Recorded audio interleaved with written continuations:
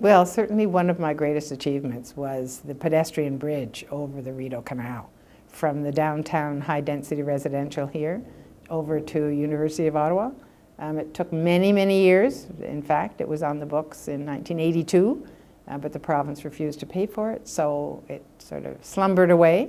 And 25 years later, um, because the uh, university was uh, requesting it, that they felt it would be a major benefit to them, um, we finally managed to get that through council by one vote. It was a very tight squeak, um, but it has been a great benefit to many, many people in the area. The most disappointing things over the last few years have been the um, very high, dense buildings that are, that are being proposed and that are being built.